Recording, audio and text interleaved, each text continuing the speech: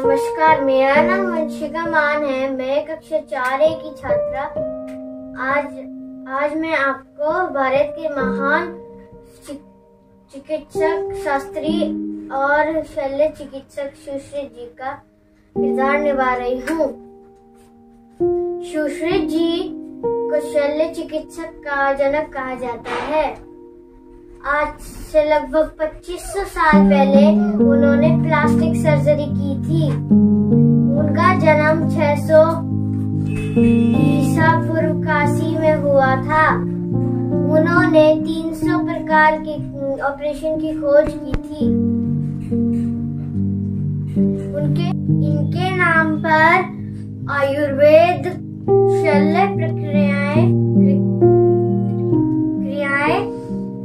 भी प्रसिद्ध है। उन्होंने कॉस्मेटिक सर्जरी में निपुणता हासिल की थी। उन्होंने मोतियाबिंद के ऑपरेशन को